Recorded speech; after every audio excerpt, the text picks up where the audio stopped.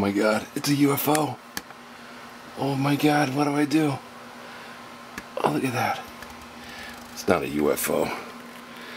This is my GE piece of junk, top load, high efficiency, top of the line, $1,500 washer.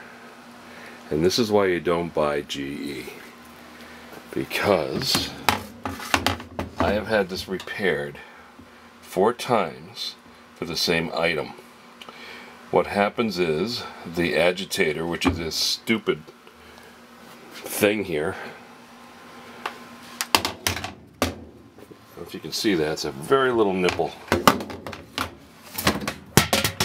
That's exactly how I found it in my washing machine with my wash. That's what happens with it. It breaks off, there's not enough water that fills these things. It's too much weight. It's just a piece of junk. I called them four times for this thing to be fixed. Same piece. They have to take out the entire transmission. All those bolts underneath there on the bottom have to come off. Top comes off. Everything. Basket. New transmission all the way down is the rod that comes up. And I'm going to focus on this so you can see what I'm talking about. This is the part right here Sorry, I'm going to lose it, but this is the part right here. Can't miss it. Hold on, let me shut this off. Sorry about the bad video, but you'll see it. It's a little nipple. Look how small that is. That little nipple there, give me some light. You can see the gear on it. You see that? That's what broke off.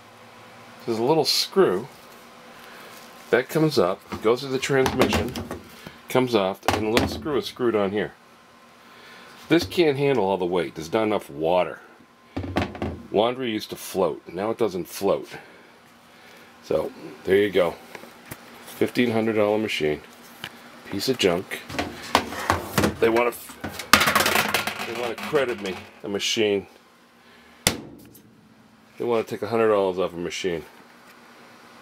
For a machine that I paid top dollar for that's been rebuilt five times. Unbelievable. GE, stay away from them.